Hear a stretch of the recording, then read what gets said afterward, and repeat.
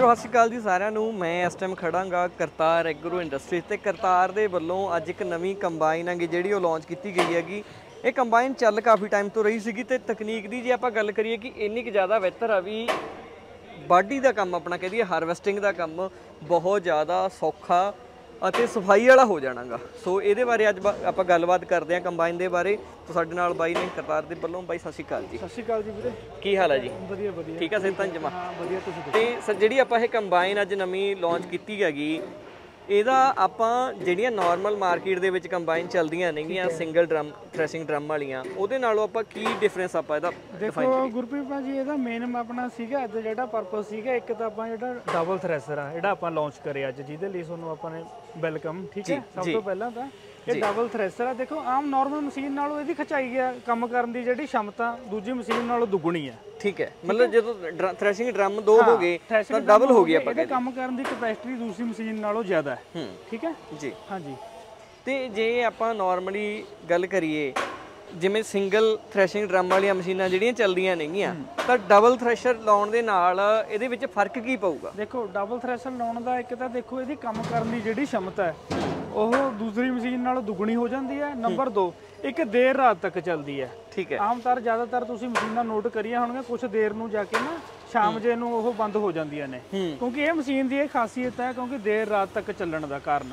ਉਹ main purpose ਹੈ double ਮਤਲਬ ਕਿਸੇ ਮੌਕੇ ਕੋਈ ਫਸਲ ਦੇ ਵਿੱਚ ਨਮੀ ਜ਼ਿਆਦਾ ਆ ਜਾਂ ਕੋਈ ਹੋਰ ਚੀਜ਼ ਆ ਚੋਕਿੰਗ ਦੀ ਸਮੱਸਿਆ ਉਹ ਸਾਰੀਆਂ ਖਤਮ ਹੋ ਜਾਣ। ਹਾਂ, ਠੀਕ ਉਹ ਸਾਰਾ ਕੁਝ ਆਪਾਂ ਨੇ ਇਹਦਾ ਪ੍ਰੋਪਰ ਐਡਜਸਟਮੈਂਟ ਦਾ ਥ੍ਰੈਸ਼ਰਾਂ ਦਾ ਸਾਰਾ ਕੁਝ ਪ੍ਰੋਪਰ ਦਿੱਤਾ ਹੋਇਆ ਹੈ, ਜਿਹੜੀ ਹੈ ਵੀ ਇਹ ਦੇਰ ਰਾਤ ਤੱਕ ਪਾਣੀ ਪ੍ਰੋਪਰ ਵਰਕ ਕਰ ਸਕੇ। ਤੇ ਇੱਕ ਚੀਜ਼ ਹੋਰ ਦੇਖੀਏ ਜਿਵੇਂ ਨਾਰਮਲੀ ਆਪਾਂ ਕੰਬਾਈਨ ਦੇ ਨਾਲ ਕਣਕ ਝੋਨਾ ਸੋਇਆਬੀਨ ਜਾਂ ਹੋਰੇ ਫਸਲਾਂ ਵਰਦੇ ਆਂਗੇ ਤਾਂ ਕਈ ਫਸਲਾਂ ਆਪਾਂ ਇਦਾਂ ਦੀਆਂ ਵੀ ਹੋਣਗੀਆਂ ਜਿਨ੍ਹਾਂ ਦੇ ਵਿੱਚ ਸਫ਼ਾਈ ਦਾ ਤੇ ਹੋਰ ਚੀਜ਼ਾਂ ਦਾ ਫ਼ਰਕ ਪੈ ਜੂ ਡਬਲ ਥ੍ਰੈਸ਼ਰ ਦੇ ਨਾਲ। ਹਾਂ ਜਿਵੇਂ ਦੇਖੋ ਤੁਸੀਂ ਪਹਿਲਾਂ ਵੀ ਮੈਂ ਦੱਸ ਕੇ ਹਟਿਆ ਸੀਗੇ ਆਪਣੇ ਕਸਟਮਰ ਨੇ ਮੁੱਲਾਂਪੁਰ ਦਾਖਾ ਤੋਂ। ਜੀ। ਤਕਰੀਬਨ ਮੰਨ ਕੇ ਚੱਲੋ 2.5 ਸਾਲ ਵਾਂਗੂ ਚਲਾ ਗਏ ਉਹਨਾਂ ਨੇ 250 ਏਕੜ ਦੇ ਤਕਰੀਬਨ ਫਸਲ ਵੱਢ ਚੁੱਕੇ ਨੇ। ਸਾਰੀਆਂ ਫਸਲਾਂ ਹੀ ਉਹਨਾਂ ਨੇ ਕੱਟ ਚੁੱਕੀਆਂ ਨੇ। ਸੋਆਬੀਨ ਮੂੰਗੀ ਹੋ ਗਈ ਸੂਰਜਮੁਖੀ ਹੋ ਗਿਆ ਸਰੋਂ ਹੋ ਗਈ ਠੀਕ ਹੈ? ਆਪਣਾ ਕਣਕ ਜੀਰੀ ਰੈਗੂਲਰ ਫਸਲਾਂ। ਠੀਕ ਹੈ ਸੀ ਕੋਈ ਦਿੱਕਤ ਨਹੀਂ ਆਈ ਹੈ ਕਿ ਜਾਣੀ ਸੀ ਮੇਨ ਪਰਪਸ ਇਹ ਸੀਗਾ ਵੀ ਡਬਲ ਥ੍ਰੈਸ਼ਰ ਨਾਲ ਸਫ਼ਾਈ ਤਾਂ ਪੂਰੀ ਆਉਂਦੀ ਆਉਂਦੀ ਹੈ। ਹੂੰ। ਤੇ ਇੱਕ ਮੈਨੂੰ ਇਹ ਪਤਾ ਲੱਗਿਆ ਸੀਗਾ ਵੀ ਇਹ ਕਤਾਰ ਦੇ ਕੋਲ ਤਕਨੀਕ ਹੈਗੀ ਜਿਹੜੀ ਪਿਛਲੇ ਲਗਭਗ 5 ਸਾਲ ਤੋਂ ਚੱਲ ਰਹੀ ਹੈਗੀ ਤੇ ਆਪਾਂ ਲਾਂਚਿੰਗ ਕਰ ਰਹੇ ਹਾਂਗੇ ਇਹਦੀ 2022 ਦੇ ਵਿੱਚ ਆ ਕੇ। ਤੇ ਇਹ ਇਹਦਾ ਇਹਨਾਂ ਮਤਲਬ ਕੀ ਕਾਰਨ ਆਪਾਂ ਕਹਿ ਸਕਦੇ ਇਹਦਾ ਗੁਰਪ੍ਰੀਤ ਭਾਜੀ ਮੇਨ ਮਕਸਦ ਇਹ ਸੀਗਾ ਦੇਖੋ ਅਸੀਂ ਆਪ ਇਹਨੂੰ 3 ਸਾਲ ਹੋ ਗਏ ਵਰਕ ਕਰਦਿਆਂ ਨੂੰ ਠੀਕ ਹੈ? 2 ਸਾਲ ਜਦੋਂ ਤੋਂ ਹੋ ਗਏ ਆਪਣੇ ਮੁੱਲਾਪੁਰ ਚੱਲਦੀ ਨੂੰ। ਹੂੰ। ਤਕਰੀਬਨ ਇਹ ਸੀਗਾ ਦੇਖੋ ਨਵਾਂ ਪ੍ਰੋਡਕਟ ਆ ਇਹਨੂੰ ਮਾਰਕੀਟ 'ਚ ਤਾਰਨਾ ਪਹਿਲਾਂ ਚੰਗੀ ਤਰ੍ਹਾਂ ਆਪ ਪ੍ਰੈਕਟੀਕਲ ਕਰਨਾ। ਹੂੰ। ਸਭ ਤੋਂ ਮੇਨ ਜ਼ਰੂਰੀ ਹੁੰਦਾ ਦੇਖੋ। ਮਤਲਬ ਬਾਅਦ ਦੇ ਵਿੱਚ ਕੋਈ ਫਾਰਮਰ ਨਾ ਤੰਗ ਹੋਵੇ ਇਸ ਚੀਜ਼ ਹੁਣ ਇਹ ਆਪਣਾ ਅੱਜ ਮਸ਼ੀਨ ਚੱਲ ਰਹੀ ਹੈ ਹਰਿਆਣੇ 'ਚ ਵੀ ਚੱਲ ਰਹੀ ਹੈ ਪੰਜਾਬ 'ਚ ਵੀ ਚੱਲ ਰਹੀਆਂ ਨੇ। ਜਿਹੜਾ ਕਸਟਮਰ ਦਾ ਫੀਡਬੈਕ ਹੈ ਬਹੁਤ ਜ਼ਿਆਦਾ ਸੋਹਣਾ ਆ ਰਿਹਾ। ਉਹ ਰੀਜ਼ਨ ਕੀ ਸੀ? ਕਿਉਂਕਿ ਆਪਾਂ ਨੇ ਇਹਨੂੰ ਪੂਰਾ ਟ੍ਰਾਇਲ ਔਰ ਵਰਕ ਕਰਕੇ ਮਾਰਕੀਟ 'ਚ ਉਤਾਰਿਆ। ਹੂੰ। ਅੱਜ ਵੀ ਆਪਣੇ ਕਸਟਮਰ ਨੇ ਰੈਗੂਲਰ ਆਪਣੇ 2018 ਤੋਂ ਆਪਣੇ ਨਾਲ ਜੁੜੇ ਹੋਏ ਨੇ। ਠੀਕ ਹੈ ਜੀ। ਤੇ ਅੱਜ ਤੀਜੀ ਕਮੈਨ ਇਹ ਲੈ ਕੇ ਜਾ ਰਹੇ ਨੇ। ਤੇ ਇੱਕ ਜਿਵੇਂ ਬਾਈ ਆਪਾਂ ਗੱਲ ਕਰੀਏ ਵੀ ਨਾਰਮਲੀ ਹੁਣ ਐਤਕੀ ਜਿਹੜਾ ਮੌਸਮ ਰਿਹਾ ਥੋੜਾ ਜਿਹਾ ਕਾਫੀ ਮੁਸ਼ਕਲਾਂ ਦਾ ਸਾਹਮਣਾ ਮੌਸਮ ਕਰਕੇ ਝੋਨੇ ਦੀ ਵਾਢੀ ਦੇ ਵਿੱਚ ਕਰਨਾ ਪਿਆ ਹਨਾ? ਤੇ ਇਹਦੇ ਵਿੱਚ 4 ਵੀਲ ਡਰਾਈਵ ਵਾਲੀ ਆਪਸ਼ਨ ਵੀ ਹੋਊਗੀ। ਮੈਂ ਦਿਖਾਣਾ ਤੁਹਾਨੂੰ ਇਹ ਜਿੰਨੇ ਵੀ ਆਪਣੇ ਮਾਡਲ ਨੇ ਇਹਨਾਂ 'ਚ ਸਾਰਿਆਂ 'ਚ 4x4 ਅਵੇਲੇਬਲ ਹੈ। ਤੁਸੀਂ ਲਗਵਾ ਸਕਦੇ ਹੋ। ਇਹ ਮਸ਼ੀਨ ਨੂੰ ਆਪਾਂ ਨੇ ਆਲਰੇਡੀ ਲਾ ਚੁੱਕੇ ਆ ਦੇਖੋ ਇਹ 4x4 ਆ ਇਹ 'ਚ ਦੋ ਆਪਸ਼ਨਾਂ ਨੇ। ਠੀਕ ਇੱਕ ਸਿੱਧੀ ਸਾਫਟ ਵਾਲਾ ਇੱਕ ਆ ਗੇਅਰ ਵਾਲਾ ਸਿਸਟਮ ਦੇਖੋ। ਠੀਕ ਹੈ. ਹਾਂ ਬਸ ਇਹ ਹੁਣ ਆਪਾਂ ਨੇ ਕਸਟਮਰ ਨੂੰ ਆਪਾਂ ਨੇ ਹਿੱਸਾ ਜਿਹੜਾ 4x4 ਦਾ ਨਾਲ ਦੇ ਦੇਣਾ।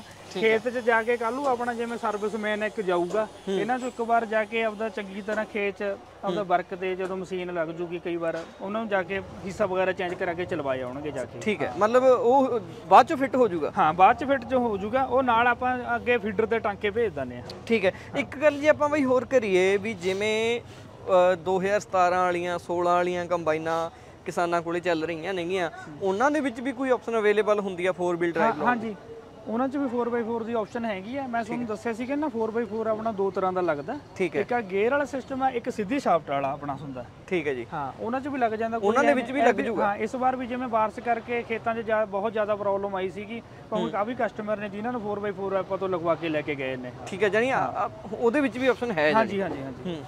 ਤੇ ਇੱਕ ਆ ਦੇਖੋ ਇਹਦਾ ਆਪਣਾ ਬੈਲੈਂਸ ਸਿਲੰਡਰ ਇਹਦੇ ਵਿੱਚ ਡਬਲ ਐਕਟਿੰਗ ਹੈ ਨਾ। ਹਾਂਜੀ। ਤੁਸੀਂ ਟਰੈਕਟਰਾਂ 'ਚ ਤਾਂ ਦੇਖਿਆ ਹੀ ਹੋਵੇਗਾ ਨਾ। ਆ ਦੇਖੋ ਬੈਲੈਂਸ ਸਿਲੰਡਰ।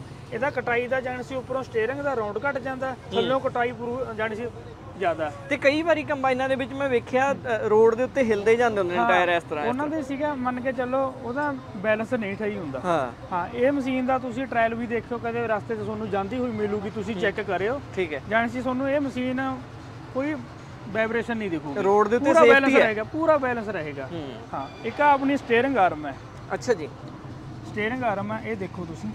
ਇਹ ਆਪਣਾ ਖੁਦ ਦਾ ਅੰਦਰੋਂ ਆਪਣਾ ਆਰ&ਡੀ ਦਾ ਜਾਣੀ ਸੀ ਡਿਜ਼ਾਈਨ ਆ ਪੂਰਾ ਅੰਦਰੋਂ ਤਿਆਰ ਕਰਕੇ ਲਾਈ ਹੋਈ ਹੈ ਜ਼ਿਆਦਾਤਰ ਤੁਸੀਂ ਦੇਖੋ ਇਹਨਾਂ ਨੂੰ ਆਪਣਾ ਜਿਵੇਂ ਉਹ ਦੂਜਾ ਸਿਸਟਮ ਹੁੰਦਾ ਆਪਣੇ ਢਲਾਈ ਵਾਲੀ ਲੱਗੀ ਹੁੰਦੀ ਹੈ। ਇਹ ਦੇਖੋ ਆਪਣੀ ਆਪ ਦਾ ਖੁਦ ਦਾ ਜਾਣੀ ਸੀ ਅੰਦਰੋਂ ਬਹੁਤ ਤਿਆਰ ਲੱਗੀ ਹੈ। ਕਰਕੇ ਕਟਿੰਗ ਕਰਕੇ ਪੂਰਾ ਹੈਵੀ ਚ ਲੱਗੀ ਹੋਈ ਹੈ ਬਹੁਤ ਹੈਵੀ ਦੇ ਵਿੱਚ ਲੱਗੀ ਹੋਈ ਹੈਗੀ।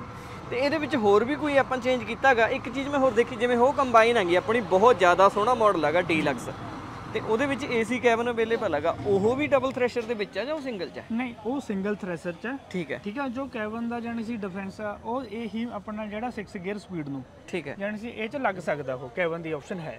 ਠੀਕ ਹੈ। ਮਤਲਬ ਇਸ ਡਬਲ ਹਾਂ, ਥ੍ਰੈਸ਼ਰ ਦੇ ਵਿੱਚ ਆਪਸ਼ਨ ਹੈ। ਹੈ ਕੈਬਨ ਲੱਗਣ ਦੀ। ਠੀਕ ਹੈ। ਹਾਂਜੀ। ਤੇ ਇੱਕ ਚੀਜ਼ ਹੋਰ ਕਰੀਏ ਮੈਂ 4 ਵੀਲ ਡਰਾਈਵ ਦੇ ਬਾਰੇ ਤੁਹਾਡੇ ਤੋਂ ਇੱਕ ਕੁਐਸਚਨ ਹੋਰ ਪੁੱਛਾਂ ਵੀ 4 ਵੀਲ ਡਰਾਈਵ ਜੇ ਕਿਸੇ ਨੇ ਲਵਾਉਣਾ ਉਹਦੇ ਵਾਸਤੇ ਟਾਈਮ ਪੀਰੀਅਡ ਕਿੰਨਾ ਚਾਹੀਦਾ? ਟਾਈਮ ਪੀਰੀਅਡ ਮੰਨ ਕੇ ਚੱਲੋ 3 ਤੋਂ 4 ਦਿਨ ਦਾ ਪ੍ਰੋਸੈਸ ਹੈ 3-4 ਦਿਨ ਕੋਈ ਜ਼ਿਆਦਾ ਲੰਮਾ ਨਹੀਂ ਸੀਜ਼ਨ ਚੱਲ ਰਿਹਾ ਹੈ ਠੀਕ ਹੈ। ਜਿਵੇਂ ਸੀਜ਼ਨ 'ਚ ਫ੍ਰੀ ਟਾਈਮ ਹੁੰਨੇ ਆ ਹਾਂ। ਉਦੋਂ ਤੋਂ ਮੰਨ ਕੇ ਚੱਲੋ 2 ਜਾਂ 3 ਦਿਨ ਦੀ ਐਵਰੇਜ ਆ। ਠੀਕ ਹੈ। ਜਿਵੇਂ ਹੁਣ ਕਸਟਮਰ ਛੱਡ ਜਾਂਦੇ ਨੇ ਅਸੀਂ 30 ਦਿਨ ਮਸ਼ੀਨ ਦੇ ਦਿੰਦੇ ਆ। ਹੂੰ। ਮਤਲਬ ਜ਼ਿਆਦਾ ਲੰਮਾ ਟਾਈਮ ਨਹੀਂ ਹੈਗਾ ਜ਼ਿਆਦਾ ਲੰਬਾ ਟਾਈਮ ਨਹੀਂ ਔਰ ਬਾਕੀ ਇਹਦਾ ਗੇਅਰ ਤਾਂ ਤੁਸੀਂ ਮੈਂ ਦੇਖਿਆ ਹੀ ਆਪਣਾ ਵੱਡਾ ਇੱਕ ਵਾਰੀ ਨਿਗਾਹ ਮਾਰੀ ਹੈ। ਕਿਉਂਕਿ 2014 ਤੋਂ ਨਾ ਆਪਾਂ ਰੈਗੂਲਰ ਇਹਨੂੰ ਯੂਜ਼ ਕਰ ਰਹੇ ਹਾਂ। ਠੀਕ ਹੈ। ਤੇ ਜਾਣੀ ਸੀ ਅੱਜ ਵੀ ਕਸਟਮਰ ਦਾ ਬਹੁਤ ਵਧੀਆ ਫੀਡਬੈਕ ਆ। ਤੇ ਇਹ- ਇਹਦੇ ਬਾਰੇ ਤਾਂ ਮੈਂ ਵੀ ਮਾਰਕੀਟ ਦੇ ਵਿੱਚ ਸੁਣਿਆਗਾ ਵੀ ਬਹੁਤ ਸਾਰੇ ਕਿਸਾਨਾਂ ਦੇ ਮੂੰਹੋਂ ਵੀ ਅੱਜ ਤੱਕ ਨਹੀਂ ਖੁੱਲਿਆ ਹੈਗਾ ਕਹਿੰਦੇ। ਉਹਦਾ ਮੇਨ ਰੀਜ਼ਨ ਇਹ ਸੀਗਾ ਗੁਰਪ੍ਰੀਤ ਭਾਜੀ ਦੇਖੋ ਸਾਰਾ ਇਹਦੀ ਜਿਹੜੀ ਗਰਾਰੀ ਹੈ ਗੇਅਰ ਦੀ ਸਾਰਾ ਇਹ ਟੇਪਰ ਦੰਦੇ ਦੀ ਗਰਾਰੀ ਹੁੰਦੀ ਹੈ। ਠੀਕ ਹੂੰ। ਇੱਕ ਬਿਲਕੁਲ ਵੀ ਸਾਊਂਡ ਨਹੀਂ ਹੈਗਾ। ਉਹੀ ਮੈਂ ਜਿਹੜਾ ਤੁਹਾਨੂੰ ਪਹਿਲਾਂ ਦੱਸਿਆ ਸੀਗਾ ਆਪਣੇ ਇੱਕ ਕਸਟਮਰ ਨੇ 2014 ਸੇ ਆਪਾਂ ਨੂੰ ਉਹਨੂੰ ਪਹਿਲੀਆਂ ਚ ਸਭ ਤੋਂ ਪਹਿਲਾਂ ਇਹ ਗੇਅਰ ਲਾ ਕੇ ਦਿੱਤਾ ਸੀਗਾ। ਠੀਕ ਹੈ। ਅੱਜ ਵੀ ਜਾਣੀ ਸੀ ਉਹਨਾਂ ਦਾ ਅਸੀਂ ਫੀਡਬੈਕ ਲੈਤਾ ਸੀਗਾ ਅੱਜ ਵੀ ਉਹ ਗੇਅਰ ਬਿਲਕੁਲ ਐਜ ਇਟ ਇਜ਼ ਉਵੇਂ ਦਾ ਉਵੇਂ ਪਿਆ। ਐਨ ਪੂਰੀ ਗੁੱਡ ਵਧੀਆ ਕੰਡੀਸ਼ਨ ਤੇ। ਵਧੀਆ ਚੱਲ ਰਹੀ ਹੈ ਮਸ਼ੀਨ ਉਹਨਾਂ ਦੀ ਕੋਈ ਜਾਣੀ ਸੀ ਬ੍ਰੇਕ ਡਾਊਨ ਜੇ ਆਪਾਂ ਇੱਕ ਗੱਲ ਕਹੀਏ ਵੀ ਇਹਦੇ ਵਿੱਚ ਕੋਈ ਇਹਦੀ ਜਿਹੜੀ ਮੇਨਟੇਨੈਂਸ ਆਗੀ ਹਲਕੀ ਫੁਲਕੀ ਜਿਵੇਂ ਆਪਾਂ ਆਇਲ ਚੈੱਕ ਕਰਨਾ ਜਾਂ ਹੋਰ ਉਹ ਚੀਜ਼ ਰੈਗੂਲਰ ਮੇਰੇ ਹਿਸਾਬ ਨਾਲ ਹੁੰਦੀ ਰਹੇ ਸਰਵਿਸ ਆਪਾਂ ਇੱਕ ਤਰ੍ਹਾਂ ਦੀ ਉਹ ਦੇਖੋ ਮਸ਼ੀਨ ਇੱਥੋਂ ਡਿਲੀਵਰ ਹੁੰਦੀ ਆ ਸਾਡਾ ਪੀਡੀਆਈ ਡਿਪਾਰਟਮੈਂਟ ਆ। ਅਸੀਂ ਉਹਨਾਂ ਨੂੰ ਵੀ ਇਹ ਦੇਖੋ ਜ਼ਰੂਰੀ ਆ ਉਹਨੂੰ ਕਸਟਮਰ ਨੂੰ ਜਿਹੜਾ ਸਾਡਾ ਗ੍ਰਾਹਕ ਉਹਨੂੰ ਵੀ ਆ ਉਹਦੇ ਫੋਰਮੈਨ ਨੂੰ ਵੀ ਇਹ ਗੱਲ ਸਮਝਾਉਨੇ ਆ ਵੀ ਮਸ਼ੀਨ ਚੱਲਣ ਤੋਂ ਪਹਿਲਾਂ ਇੱਕ ਵਾਰੀ ਤੁਸੀਂ ਗੇਅਰ ਦਾ ਆਇਲ ਵਗੈਰਾ ਜ਼ਰੂਰ ਚੈੱਕ ਕਰੋ ਇੰਜਨ ਦਾ ਚੈੱਕ ਕਰੋ ਹਨਾ? ਆਪਣੇ ਨਟ ਬੋਲਟਾਂ ਦੇ ਹੱਥ ਮਾਰੋ ਚੰਗੀ ਤਰ੍ਹਾਂ। ਦੇਖੋ ਬਾਕੀ ਤਾਂ ਇਹਨੇ ਕਸਟਮਰ ਨੇ ਆਪ ਮੇਨਟੇਨ ਰੱਖਣਾ ਹੁੰਦਾ। ਤੇ ਵਿੱਚ ਬੰਦੇ ਬਹੁਤ ਤਜਰਬੇ ਵਾਲੇ ਨੇਗੇ ਜਿਹੜੇ ਮਸ਼ੀਨਾਂ ਨੂੰ ਚੌ ਵੀ ਨਹੀਂ ਲੱਗਣ ਦਿੰਦੇ ਹਨਾ? ਹਾਂ ਬਹੁਤ ਜਾਣੀ ਸੀ ਕਸਟਮਰ ਵਿੱਚ ਇਹੋ ਜਿਹੇ ਨੇ ਤਕਰੀਬਨ ਮੰਨ ਕੇ ਚੱਲੋ ਜਦੋਂ ਵਰਕਆਊਟ ਕਰਕੇ ਸ਼ਾਮ ਨੂੰ ਮਸ਼ੀਨ ਘਰੇ ਆਉਂਦੀ ਹੂੰ। ਤੁਸੀਂ ਐਂ ਦੇਖੋਗੇ ਵੀ ਉਹਦੇ ਤੇ ਕੰਪਨੀ ਜਿੰਨੀ ਪੀਡੀਆਈ ਕਰ ਦਿੰਦੇ ਨੇ। ਪੂਰੀ ਪੀਡੀਆਈ ਕਰ ਦਿੰਦੇ ਨੇ ਹਾਂ ਬਿਲਕੁਲ। ਤੇ ਆਪਾਂ ਇਹ ਤਾਂ ਮੈਨੂੰ ਆ ਉੱਚਾ ਲੱਗ ਰਿਹਾ ਕਾਫੀ ਜ਼ਿਆਦਾ। ਇਹਦੇ ਵਿੱਚ ਜਿਹੜਾ- ਕੋਈ ਚੇਂਜ ਹੋਇਆ? ਇਹਦੇ ਸਾਈਜ਼ 'ਚ ਵੀ ਫ਼ਰਕ ਹੈ। ਦੇਖੋ ਇਹਦੀ ਹਾਈਟ ਵੀ ਅੱਗੇ ਨਾਲ ਉੱਚੀ ਕਰੀ ਹੋਈ ਹੂੰ ਕਾਫੀ ਉੱਚਾ ਹੋ ਗਿਆ ਦੇਖੋ ਆਪਣਾ ਜਾਣੇ ਸਾਈਜ਼ ਵੀ ਵੱਡਾ। ਕਿਉਂਕਿ ਜਿਹੜੇ ਦਾਣੇ ਕੱਢਣ ਦੀ ਕਪੈਸਿਟੀ ਆ ਉਹ ਪਹਿਲਾਂ ਨਾਲੋਂ ਜ਼ਿਆਦਾ ਹੋ ਦਿੱਤੀ ਹੈ ਠੀਕ ਹੈ। ਕਿਉਂਕਿ ਟਾਈਮ ਬਚ ਰਹੇ। ਕਹਿਣ ਦਾ ਭਾਵ ਹੈ ਵੀ ਟਾਈਮ ਨਾ ਉਹ ਹੋਵੇ ਟਾਈਮ ਖਰਾਬ ਕਰਨ ਕਰਕੇ ਇਹਦਾ ਸੋਲਪ ਨੇ ਸੇਜ ਕਰਦਾ ਗੁਰੂ ਬਰਮਬੈਰਾ ਵੀ ਵੱਡਾ ਕਰਿਆ ਹੋਇਆ ਵੀ ਅੱਗੇ ਨਾਲੋਂ ਟਾਈਮ ਪੀਰੀਅਡ ਥੋੜਾ ਜਿਹਾ ਘੱਟ ਰਹਿ ਜਾਵੇ। ਤੇ ਇਹਦੇ ਵਿੱਚ ਇੰਜਨ ਕਿਹੜਾ ਆ ਰਿਹਾ ਜੀ? ਇੰਜਨ ਆਪਣੇ ਉਹੀ ਹੈ ਜੀ ਅਸ਼ੋਕ ਲੇਲੈਂਡ ਦਾ 101 ਐਚਪੀ ਦਾ। ਇਹ ਚ ਆਪਸ਼ਨ ਆ ਦੋ ਜਿਵੇਂ ਇੰਜਨ ਆਪਣੇ ਲਵੇ 133 ਐਚਪੀ ਦਾ ਵੀ ਹੈਗਾ। ਉਹ। ਕਸਟਮਰ ਦੀ ਡਿਮਾਂਡ ਆ। ਵੀ ਮੈਂ 101 ਦਾ ਲਵਾਉਣਾ ਜਾਂ ਉਹਨੂੰ ਆਪਸ਼ਨ ਦਿੱਤੀ ਜਾਂਦੀ ਹੈ ਵੀ ਤੁਸੀਂ 133 ਵਾਲਾ ਲਵਾਉਣਾ। ਨਹੀਂ ਰੈਗੂਲਰ ਮਾਡਲ ਨੇ ਜਿੰਨੇ ਵੀ ਆਪਣੇ ਨਾ ਉਹਨਾਂ ਨੂੰ ਸਾਰਿਆਂ ਨੂੰ 101 ਐਚਪੀ ਲੱਗਦਾ। 133 ਦੇ ਵਿੱਚ ਜੇ ਮਤਲਬ ਇੰਜਨ ਲਵਾਉਂਦਾ ਹੈਗਾ 133 ਐਚਪੀ ਵਾਲਾ ਉਹਦਾ ਕੋਈ ਇਹਦੇ ਨਾਲੋਂ ਬੈਨੀਫਿਟ ਜ਼ਿਆਦਾ ਮਿਲਦਾ ਉਹਦਾ ਬੈਨੀਫਿਟ ਤਾਂ ਮੰਨ ਕੇ ਚੱਲੋ ਜਿਵੇਂ ਆਪਣੇ ਹੁਣ ਇਹ ਕੈਬਨ ਵਾਲੀ ਮਸ਼ੀਨ ਆ ਜਾਂ ਉਹ ਜਿਹੜੇ ਆਪਣੇ ਐਕਸਪੋਰਟ ਦੇ ਮਾਡਲ ਨੇ ਹੂੰ। ਉਹਨਾਂ 'ਚ ਜ਼ਿਆਦਾਤਰ ਯੂਜ਼ ਹੁੰਦਾ। ਇੱਕ ਚੀਜ਼ ਇਹ ਵੀ ਹੋਗੀ ਮੰਨ ਲਓ ਵੀ ਅੱਜ ਬੰਦਾ 133 ਐਚਪੀ ਵਾਲਾ ਇੰਜਨ ਲੈਣਾ ਤਾਂ ਇਨ ਫਿਊਚਰ ਉਹਨੇ ਕੈਬਨ ਲਵਾਉਣਾ ਤਾਂ ਉਹ ਇੰਜਨ ਉਹਨਾਂ ਨੂੰ ਕੰਮ ਦੇ ਜਾਊਗਾ ਹਾਂ। ਇਹ ਚੀਜ਼ਾਂ ਲਈ ਸਭ ਤੋਂ ਵਧੀਆ ਜਿਵੇਂ 4 ਵੀਲ ਡਰਾਈਵ ਦੇ ਵਿੱਚ ਕਨਵਰਟ ਕਰਾਉਣੀ ਹੈ ਤਾਂ ਉੱਥੇ ਉਹ ਉਹਦੇ ਲਈ ਉਹ ਸਭ ਡਿਫੈਂਸ ਹਾਂ ਮਤਲਬ ਫਿਊਚਰ ਦੇ ਵਿੱਚ ਉਹਨਾਂ ਕੋਲੇ ਪਲੈਨਿੰਗ ਰਹਿ ਜੂ ਉਸ ਚੀਜ਼ ਦੀ। ਬਹੁਤ ਕਸਟਮਰ ਨੇ ਜਿਹੜੇ ਇਸ ਵਾਰ ਆਪਣੇ 133 ਦੇ ਇੰਜਨ ਨਾਲ ਗਏ ਨੇ ਵੀ ਫਿਊਚਰ ਪਲੈਨਿੰਗ ਹੈ ਉਹਨਾਂ ਦੀ। ਫਿਊਚਰ ਪਲੈਨਿੰਗ ਵੀ ਅਸੀਂ ਕੱਲ ਨੂੰ ਕੋਈ ਕੈਬਨ ਲਵਾਉਣਾ ਜਾਂ ਕਿਵੇਂ ਕਰਨਾ। ਹਾਂ ਜੋ ਵੀ ਕੁਝ ਕਰਨਾ ਹੈ ਸਿਸਟਮ ਕਰ ਸਕਦੇ ਆ ਤੇ ਇਹ ਆ ਵੀਰੋ ਬਿਲਕੁਲ ਨਵਾਂ ਜਿਹੜਾ ਡਬਲ ਥ੍ਰੈਸ਼ਰ ਵਾਲਾ ਮਾਡਲ ਤੇ ਜੇ ਆਪਾਂ ਇਹਦੀ ਅਵੇਲੇਬਿਲਟੀ ਦੀ ਗੱਲ ਕਰੀਏ ਜੀ ਇਹਦੇ ਤੇ ਕਿੰਨੀ ਬੁਕਿੰਗ ਹੈ? ਇਹਦੇ ਦੀ ਬੁਕਿੰਗ ਤਾਂ ਗੁਰਪ੍ਰੀਤ ਭਾਜੀ ਐ ਆ ਸਿਸਟਮ ਆਪਣਾ ਬੁਕਿੰਗ ਦੇ ਹਿਸਾਬ ਨਾਲ ਰੱਖਿਆ ਹੋਇਆ। ਠੀਕ ਹੈ। ਯਾਨੀ ਸੀ ਪੇਮੈਂਟ ਆਉਣ ਤੋਂ ਦੂਏ ਦਿਨ ਆਪਾਂ ਮਸ਼ੀਨ ਡਿਲੀਵਰ ਕਰ ਸਕਦੇ ਕਰ ਸਕਦੇ ਹੋ। ਓਕੇ ਆਪਣੇ ਤਾਂ ਪਹਿਲੀ ਯਾਨੀ ਪਹਿਲਾਂ ਵੀ ਸਿਸਟਮ ਬਣਿਆ ਹੋਇਆ। ਜਿਵੇਂ ਸੀਜ਼ਨ ਆਉਂਦਾ ਆਪਣਾ ਫਿਰ ਜਾਣੀ ਸੀ 2 ਤੋਂ 3 ਦਿਨ ਦਾ ਟਾਈਮ ਪੈ ਜਾਂਦਾ। ਨਹੀਂ ਨਹੀਂ ਪੈਂਦਾ ਹੈਗਾ। ਜਿਵੇਂ ਅੱਜ ਪੇਮੈਂਟ ਦਿੱਤੀ ਕਸਟਮਰ ਨੂੰ ਆਪਾਂ ਕੱਲ ਨੂੰ ਮਸ਼ੀਨ ਦੇ ਸਕਦੇ ਹਾਂ। ਠੀਕ ਹੈ। ਹਾਂ। ਤੇ ਇਹਦਾ ਸਿੰਗਲ ਵਾਲੀ ਦੇ ਨਾਲੋਂ ਰੇਟ ਦਾ ਕੋਈ ਜ਼ਿਆਦਾ ਫ਼ਰਕ ਆ ਜਾਂ ਹਾਂ ਮੰਨ ਕੇ ਚਲੋ ਥੋੜਾ ਬਹੁਤ ਹੀ ਜਾਣੀ ਸੀ ਅੰਤਰ ਆ ਜ਼ਿਆਦਾ ਨਹੀਂ ਹੈ। ਜ਼ਿਆਦਾ ਨਹੀਂ ਹੈਗਾ ਕੋਈ ਵੱਡਾ ਅੰਤਰ ਨਹੀਂ ਬਾਕੀ ਇਹ ਚ ਡਿਫਰੈਂਸ ਥੋੜਾ ਜਿਹਾ ਪਹਿਲਾਂ ਮੈਂ ਦੱਸਿਆ ਸੀਗਾ ਜਿਵੇਂ ਲੀਵਰ ਦੇਖੋ ਇਹਦਾ ਇੱਕ ਲੱਗਿਆ ਹੋਇਆ। ਹੂੰ। ਸਟੀਅਰਿੰਗ ਐਡਜਸਟੇਬਲ ਬਣਾਇਆ ਹੋਇਆ। ਠੀਕ ਹੈ। ਹਾਂ। ਆਪਾਂ ਉੱਪਰ ਜਾ ਕੇ ਦਿਖਾ ਦਿੰਦੇ ਹਾਂ ਉੱਪਰ ਜਾ ਕੇ ਮੈਂ। ਤੁਹਾਨੂੰ ਇੱਕ ਵਾਰ ਦਿਖਾ ਉੱਪਰ ਲੈ ਕੇ ਚੱਲਦੇ ਆਂਗੇ ਉੱਪਰ ਜਾ ਕੇ ਤੁਹਾਨੂੰ ਦਿਖਾਉਣੇ ਆਂਗੇ ਇਹਦੇ ਵਿੱਚ ਹੋਰ ਕੀ ਕੀ ਗੱਲਬਾਤ ਆ। ਸਟੀਅਰਿੰਗ ਇਹਦੇ ਵਿੱਚ ਐਡਜਸਟੇਬਲ ਹੋਊ ਆਹ ਦੇਖੋ ਗੁਰਪ੍ਰੀਤ ਭਾਜੀ ਆਹ ਸਟੀਅਰਿੰਗ ਹੈ ਇਹਦਾ। ਆਹ ਇੱਧਰ ਆਪਾਂ ਨੇ ਇੱਕ ਛੋਟਾ ਲੀਵਰ ਲਾਇਆ ਹੋਇਆ ਦੇਖੋ। ਠੀਕ ਹੈ। ਇਹ ਢਿੱਲਾ ਕਰੋ ਆਹ ਦੇਖੋ। ਜੈਂਸੀ ਡਰਾਈਵਰ ਨੂੰ ਕੋਈ ਪ੍ਰੋਬਲਮ ਨਹੀਂ ਆਊਗੀ ਅੱਗੇ ਨੂੰ ਝੁਕਣ ਦੀ ਉਹ ਆਪਦਾ ਆਰਾਮ ਨਾਲ ਬਹਿ ਕੇ ਨਾ ਇੱਥੇ ਵੀ ਉਹਨੂੰ ਐਡਜਸਟਮੈਂਟ ਕਰ ਸਕਦਾ। ਹੂੰ। ਠੀਕ ਹੈ? ਤੇ ਆਹ ਦੇਖੋ ਇਹਦਾ ਆਪਣੇ ਜਿਵੇਂ ਗੱਡੀ ਦਾ ਲੀਵਰ ਹੈ ਠੀਕ ਹੈ।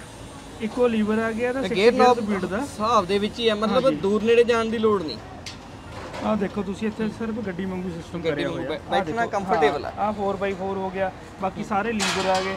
ਬਾਕੀ ਆ ਇੱਕ ਥ੍ਰੈਸ਼ਰ ਦਾ ਸਾਰਿਆਂ ਦਾ ਸਿਸਟਮ ਉੱਪਰੋਂ ਕਰਿਆ ਹੋਇਆ ਉਹਦੀ ਸੈਟਿੰਗ ਦਾ ਚੱਕਰ ਵੱਧ ਘੱਟ ਕਰਨ ਦਾ। ਠੀਕ ਹੈ। ਇੱਕ ਥ੍ਰੈਸ਼ਰ ਦੀ ਸੈਟਿੰਗ ਥੱਲੇ ਕਰੀ ਹੋਈ ਹੈ ਨੀਚੇ ਆਪਾਂ ਨੇ। ਓਕੇ। ਹਾਂਜੀ ਹਾਂ। ਬਾਕੀ ਸੀਟ ਵਗੈਰਾ ਚ ਆ ਜਿਵੇਂ ਆਪਣੇ ਹੈਗੇ ਆਰਮ ਨੇ ਰੈਸਟ ਸਾਰੇ ਹੋ ਗਏ ਹਾਂ ਤੇ ਆ ਵੀ ਜਿਹੜੇ ਆਪਾਂ ਕਹਿ ਦਈਏ ਇਹਦੇ ਵਾਸਤੇ ਵੀ ਝੁਕਣ ਦੀ ਲੋੜ ਨਹੀਂ। ਹਾਂਜੀ ਹਾਂ। ਹੂੰ। ਬਾਕੀ ਆ ਕੈਬਨ ਦੀ ਸਪੇਸ ਦੇਖ ਲਓ ਤੁਹਾਡੇ ਸਾਹਮਣੇ ਆ ਕਾਫੀ ਜ਼ਿਆਦਾ ਆ। ਬਿਲਕੁਲ ਜੀ ਬਹੁਤ ਵਧੀਆ। ਤੇ ਇਹਦੀ ਕਪੈਸਿਟੀ ਵੀ ਵਧਾਈ ਹੈ ਕੋਈ ਗ੍ਰੇਨ ਟੈਂਕ ਦੀ? ਨਹੀਂ ਉਹ ਕਪੈਸਿਟੀ ਦਾ ਸਾਰਾ- ਟੈਂਕ ਆ ਉਹ ਹਾਂ ਸੇਮ ਹੀ ਸੇਮ ਹੀ ਹੈ ਸਰ ਹਨਾ? ਤੇ ਆਜੋ ਵੀਰੋ ਤੁਹਾਨੂੰ ਇੱਕ ਵਾਰੀ ਜਿਹੜੇ ਕੈਬਨ ਦੇ ਉੱਤੇ ਵੀ ਆਪਾਂ ਝਾਤੀ ਮਰਵਾ ਦਿੰਦੇ ਹਾਂ ਨਾ ਮੈਂ ਤੁਹਾਡਾ ਮਰਵਾ ਤੇ ਇਹ ਹੈ ਵੀਰੋ ਕੰਬਾਈਨ ਜਿਹੜੀ ਏਸੀ ਕੈਬਨ ਦੇ ਨਾਲ ਆ ਰਹੀ ਆ। ਆਜੋ ਏਸੀ ਕੈਬਨ ਤੁਹਾਨੂੰ ਦਿਖਾਉਣਾ ਵਿੱਚੋਂ ਕਿਦਾਂ ਦਾ ਆ ਰਿਹਾ।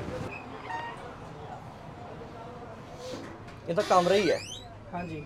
ਹੂੰ। ਦੇਖੋ ਤਕਰੀਬਨ ਇਹ ਚ ਸਾਰੇ ਫੀਚਰਸ ਵਗੈਰਾ ਅੰਦਰ ਹੀ ਨੇ। ਬਹੁਤ ਜ਼ਿਆਦਾ ਆਪਾਂ ਕਹਿ ਦਈਏ ਹੈਵੀ ਵੀ ਬਹੁਤ ਬਣਿਆ ਹੋਇਆ ਕੈਬਨ ਬਹੁਤ ਕਾਫੀ ਜ਼ਿਆਦਾ ਹੈਵੀ ਹੈ। ਆ ਦੇਖੋ ਡਿਸਪਲੇ ਲੱਗੀ ਹੋਈ ਹੈ ਪਿੱਛੇ ਕੈਮਰਾ ਠੀਕ ਹੈ? ਆਪਸ਼ਨ ਉਹਦੀ। ਦਿੱਤੀ ਹੋਈ ਹੈ ਜੀ। ਠੀਕ ਹੈ? ਮਤਲਬ ਬਿਲਕੁਲ ਰੀਅਰ ਵਿਊ ਜੀ।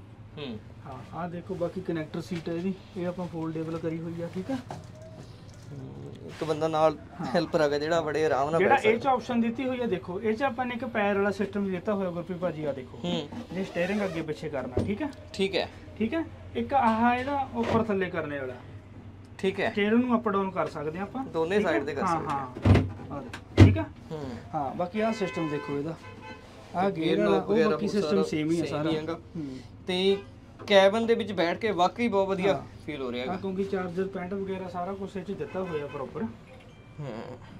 ਤੇ ਕਿ ਬੋਟਲ ਵਗੈਰਾ ਆਪਦੀ ਹਾਂ, ਰੱਖਣ ਹਾਂ, ਵਾਸਤੇ ਤੇ ਵਾਈਪਰ ਵੀ ਬਹੁਤ ਵੱਡਾ ਹੈਗਾ ਸਿੰਗਲ ਵਾਈਪਰ ਹੈਗਾ। ਤੇ ਸੋ ਵੀਰੋ ਬਾਕੀ ਜੇ ਕੋਈ ਹੈ ਤੁਹਾਡੀ ਇਨਕੁਆਇਰੀ ਇਸ ਕੰਬਾਈਨ ਨੂੰ ਲੈ ਕੇ 4 ਵੀਲ ਡਰਾਈਵ ਦੇ ਵਿੱਚ ਅਪਡੇਟ ਕਰਨ ਵਾਸਤੇ ਜਾਂ ਏਸੀ ਕੈਬਨ ਦੇ ਵਿੱਚ ਅਪਡੇਟ ਕਰਨ ਵਾਸਤੇ ਤਾਂ ਕੰਪਨੀ ਦਾ ਜਿਹੜਾ ਨੰਬਰ ਹੈਗਾ ਤੁਸੀਂ ਉਹ ਸਕਰੀਨ ਤੇ ਵੇਖ ਰਹੇ ਹੋਗੇ ਇਸ ਨੰਬਰ ਦੇ ਉੱਤੇ ਤੁਸੀਂ ਗੱਲਬਾਤ ਕਰ ਸਕਦੇ ਹੋ। ਬਾਈ ਬਹੁਤ ਬਹੁਤ ਥੈਂਕ ਯੂ ਜੀ ਤੁਹਾਡਾ। ਵਧੀਆ ਤੁਸੀਂ ਜਾਣਕਾਰੀ ਦਿੱਤੀ ਵੈਲਕਮ ਜੀ ਭਾਜੀ ਵੈਲਕਮ ਜੀ। ਸੋ ਵੀਰੋ ਚੰਗੀ ਲੱਗੀ ਵੀਡੀਓ ਤਾਂ ਅੱਗੇ ਸਾਂਝੀ ਜ਼ਰੂਰ ਕਰ ਦਿਓ। ਸਤਿ ਸ਼੍ਰੀ ਅਕਾਲ ਜੀ।